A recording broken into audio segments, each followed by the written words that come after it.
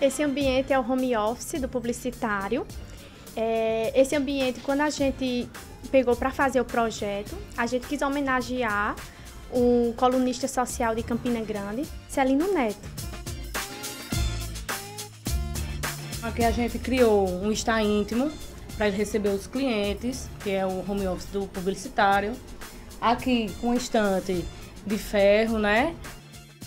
E ali uma champanheira que ele pode, juntamente com os clientes, quando fechar um projeto, um, um negócio, já recebê-lo aqui com um drink, alguma coisa que é bem a cara dele, que é bem o estilo dele.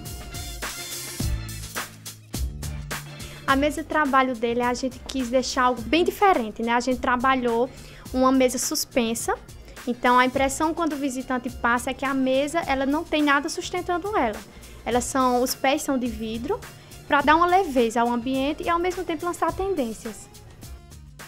Então, como a gente tomou como base é, um colunista em Campina Grande, que ele é bem conceitual, e ao mesmo tempo é chique. A gente fez essa brincadeira do chique e o moderno e usamos estrutura metálica na estante. A gente quis tirar essa impressão de que todo escritório tem que ter uma estante fechada de livros. Então usamos algo bem dinâmico e, e de estrutura metálica junto com a madeira.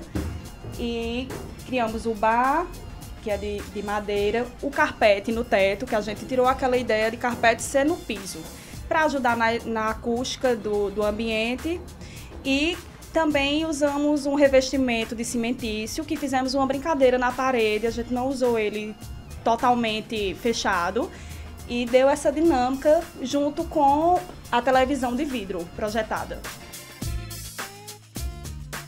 A Bentec é um parceiro diferencial da gente, né?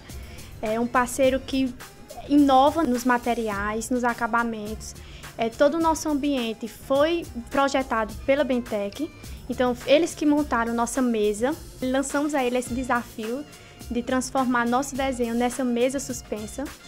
E foram eles que fizeram essa adega para a gente também, além dessa estante, com esses nichos bem despojados e bem diversificados, que tornou o ambiente cada vez mais acolhedor e de bem-estar.